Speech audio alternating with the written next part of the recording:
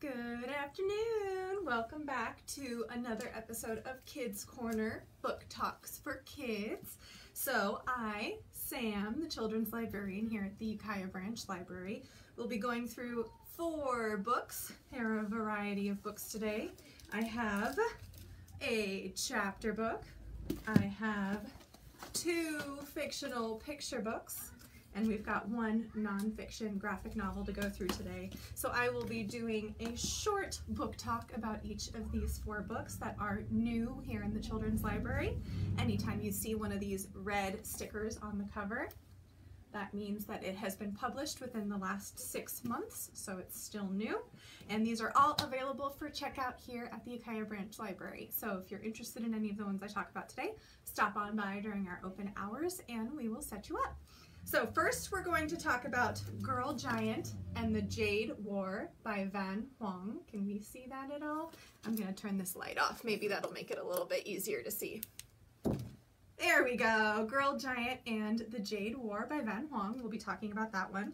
We will also be talking about Nathan Hale's Hazardous Tales Cold War Correspondent by, you guessed it, Nathan Hale. Then we'll talk about I Sang You Down from the Stars. This is written by Tasha Spillett Sumner and illustrated by Michaela Goade. This one made me cry. It was so beautiful. And then we will be re or talking about Aaron Slater Illustrator, which is written by Andrea Beaty and illustrated by David Roberts. So let's get started with our first one. Let's talk about Girl Giant and the Jade War. So do you remember Thom? Right here, whoop, right here on the cover, Thom from Girl Giant and the Monkey King. She is a super strong 11-year-old girl who moved to the southeastern United States from LA very long move with her mom and she only knew in her new town one other Asian American girl in her school who also happened to be super duper mean to her. She was a bully. And then Thom accidentally freed someone called the Monkey King, and everything spiraled out of control after that. That was all from the first book. Well, we're gonna buckle up because she's back again in the second book in this series. So Thom thought that the Monkey King was her friend. After all, he taught her how to control her super strength, and he taught her how to stand up for herself against her bullies, especially that girl who bullied her on her soccer team. And then he proved that he wasn't her friend. He tricked her into stealing his magical club, also called a cudgel, from the heavens and using it to free him from the prison that the Buddha had sent him to 500 years ago. He's been in prison for 500 whole years. So now Thom knows that he's not really her friend. He was just using her. So the Monkey King, now freed from his prison of 500 years, is attempting to wage war against someone called the Jade Emperor, who is the ruler of the heavens in Vietnamese mythology. So Thom, right here, and her dragon friend Ka are going to go on an adventure to try to uh, gather more allies, which includes Khonsao right here, who is one of the Monkey King's fox demon friends, to do everything they can to stop him from waging war against the heavens. So this is a fantasy adventure chapter book that is 313 pages, including the acknowledgments. And as we discussed before, it's the first book in the Girl Giant series. And it centers around a young Vietnamese American girl named Thom and her sudden introduction to the mystical, magical beings that she had previously thought were just Vietnamese mythology. Turns out they're real.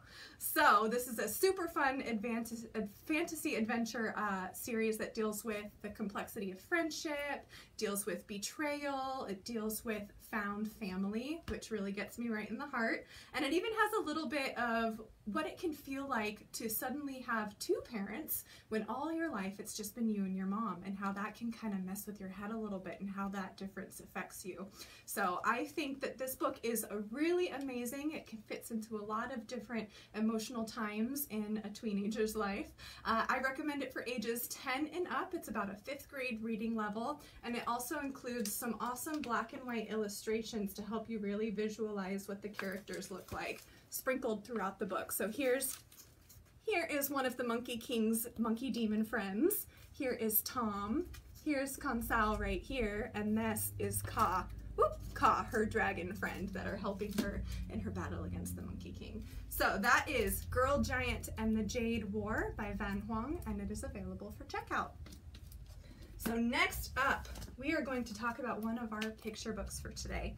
This one, the one that made me cry, is I Sang You Down from the Stars by Tasha Spillett Sumner, and it's illustrated by Michelle or Michaela Goade. So, as she she being mom right here, waits for the arrival of her new baby, a mother to be gathers all of the gifts that she's going to need to create what we are calling, or what is called, a sacred welcoming medicine bundle for her baby. And this sacred welcoming medicine bundle includes a white feather, and cedar and sage, which are herbs and plants that you can gather outside, and a stone, a special stone from a river, a river. And with each addition to the sacred bundle, so I will show you. Right here, she's to be gathering her feather on the first page. So she finds the feather right here on the first page in her hands. And then she's going to find the cedar and the sage. Here we see her smelling them, and now she's put them in a beautiful shell for safekeeping. And then she's going to find her river stone. Down here, she's found a river stone, and here she's thinking and sitting and loving her baby still in her belly while she's holding that river stone and imbuing it with all kinds of love. So once she has found all of these additions to her sacred bundle, she's offering her coming baby the strength and a long lasting, enduring connection to tradition and to family and to her indigenous community. And as they grow together, both mommy and baby are going to find that they have gifts to offer to each other. Just as mom has created the medicine bundle for her newborn to help the baby grow and connect with her indigenous identity, the growing child is going to offer mom love and understanding and even the ability to carry on indigenous traditions into the next generation. So, and spun throughout this, which I think is a really beautiful touch, is the traditional understanding of many indigenous communities that babies actually choose which parents they're going to have while they're still up in the stars. And I think that's really beautiful. You can kind of see that with the sprinkling star motif that starts in the very beginning before she's even pregnant. It says right here, I loved you before I met you, before I held you in my arms, I sang you down from the stars, and the baby's choosing this mom in particular to be her mom. So this is 24 pages of absolutely gorgeous hand-painted illustrations. Almost every page, like the one I just showed you, features swirling stars and clouds, which is another really cool touch. That is actually a motif honoring the author's Nehiyawak heritage, uh, where they identify as the people of the stars. So I think that that's a really nice touch that the illustrator included. So thank you for doing that, Michaela Goade. Uh, I think that um, the end page of this book is particularly poignant. It ends with a whispered prayer. As I held you close, I whispered in your ear, I loved you before I met you. Before I held you in my arms, I sang you down from the stars. And I just think that's so beautiful. Uh, it's hard to kind of say it without crying. So anyway, I recommend this for story times celebrating Mother's Day or for any units in school focusing on North American Indigenous cultures because both the author and the illustrator are actually uh, Indigenous to uh, North America up in Canada, not the United States. Um, so any North American Indigenous unit, or you can use it as a jumping point to learn about Indigenous cultures here in the United States as well. Um, I also think it would be really good for learning, learning about world cultures and heritage as well. Uh, and I think this makes an excellent jumping off point for further discussion about how various cultures around the world celebrate the birth of a newborn, for example, or maybe what cultures around the world do to prepare for a new baby in the home and in the community, because that's different depending on where you live for a lot of different people. So again, that is I Sang You Down from the Stars, written by Tasha Spillett Sumner and illustrated by Michaela Goade. All right, so the next one we're going to talk about is Nathan Hale's Hazardous Tales, Cold War Correspondent by Nathan Hale. This is a nonfiction graphic novel, and it is about how when war was declared in 1950, uh, when the uh, North Korean army passed over borders into South Korea with tanks that they got from the then Soviet Union. And then when Seoul was captured, the New York Herald Tribune reporter right here, Marguerite Higgins, was there. And she fled with refugees who were heading south after Seoul was captured. Unfortunately, she was trapped when the bridges going over the Han River, so going south from Seoul, were destroyed. And then this brave woman, Marguerite Higgins, who was a reporter for the New York Herald Tribune, uh, this brave woman continued to report on everything that she witnessed during the invasion and into active war. So she risked her life over and over and over again to make sure that people around the world knew what it was like to be in a war and what the cost of active war is for civilians, especially. So even when she was ordered to leave because she was a woman and her boss thought that it wasn't safe for her, uh, because that's something that people still do, unfortunately, she refused to let anything stop her from abandoning her post and she stayed and she reported and she's a hero. So this again is a nonfiction graphic novel that is 127 pages of black and white illustrations. Sometimes they're funny. A lot of the time they're kind of thrilling and occasionally they even get a little bit scary and maybe a little bit gory. So for that reason, I recommend this for uh, ages 10 and up, uh, fifth grade and up reading level. Additionally, the spreads are pretty dense. There are quite a few panels per page, and there's a lot of text per page, and some of them are even more than that one. Let me go to one that has even more. There's one that's got like 14 panels per page. So they, they're pretty dense and there are quite a few words of three, even four syllables. So anyone that's younger than fifth grade reading level or younger than 10 years old, if they are above fifth grade reading level at that point, um, might need a lot of extra assistance getting through those extra hard words. Those, those uh, gold star words is what I like to say. So for the gold star words, I think that that is a good reason to keep it at a higher reading level. And also the content, like I said, gets a little bit scary, even a little bit gory occasionally.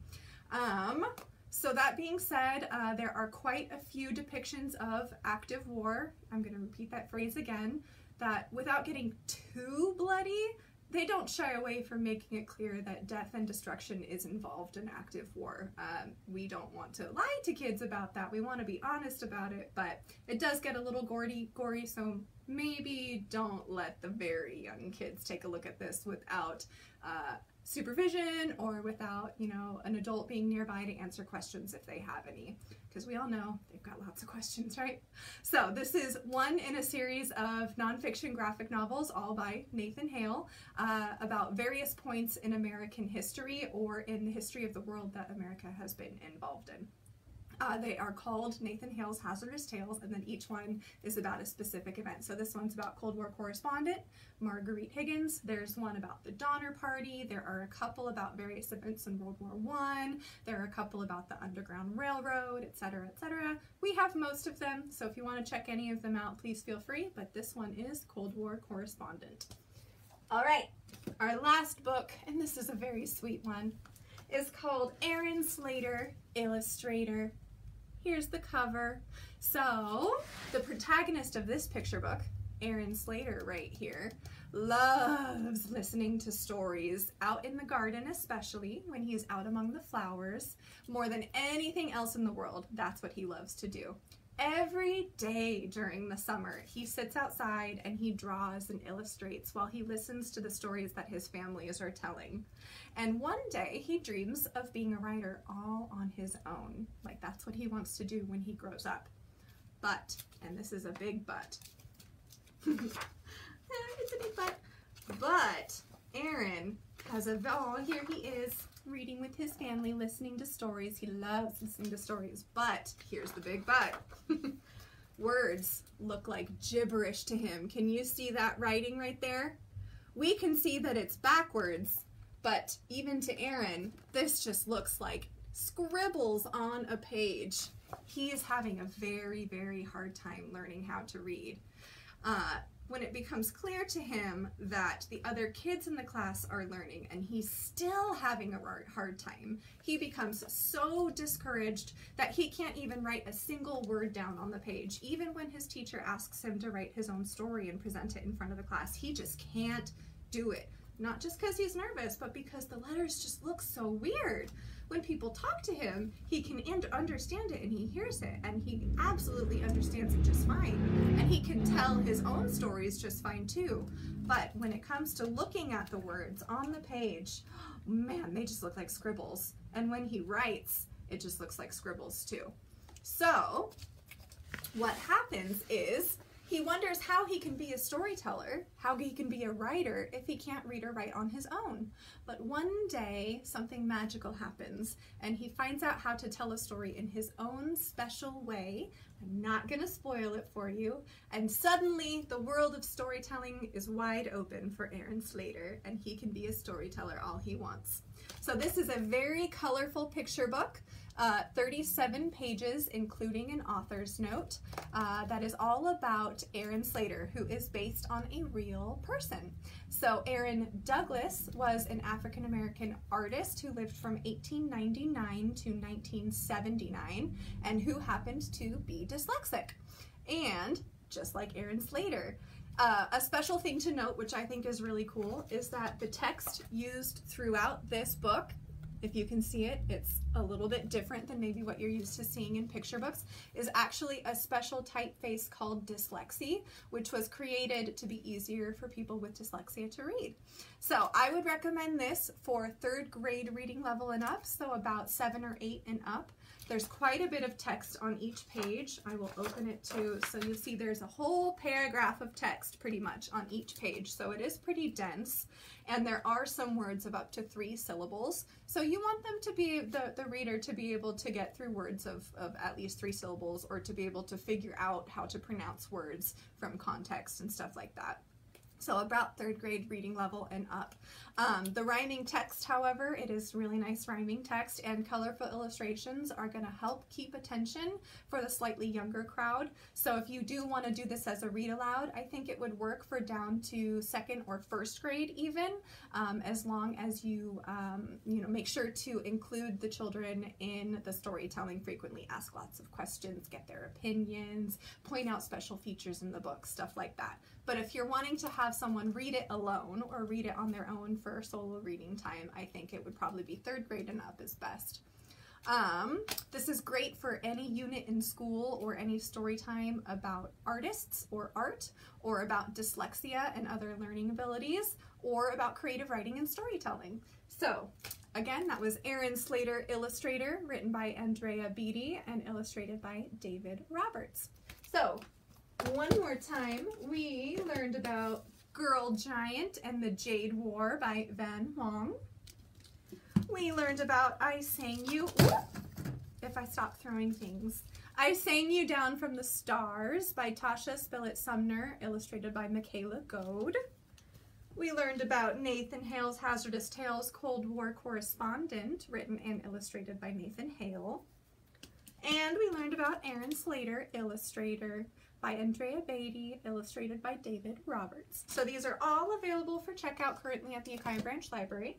Stop by during our open hours to pick one up, or you can give us a call to request one and we'll put it on hold for you, or you can request it online at mendolibrary.org. You just make sure you have your library card number and your PIN number handy so that you can log in and request.